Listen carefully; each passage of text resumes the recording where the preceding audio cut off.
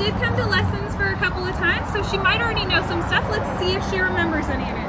Buttercup, can you come? She's a good girl. Buttercup, can you sit? Do you remember sit? Oh, that's a good sit. Can you down? No? Can you down? No, we can get up though. Buttercup, let's go for a walk. Come on. Let's go for a walk. Let's go. Where are we going? Not that way. Oh, not that way. Come on. Let's go this way. Where are you going? As you can see, she's kind of all over the place, but that's okay because we will work on that with her.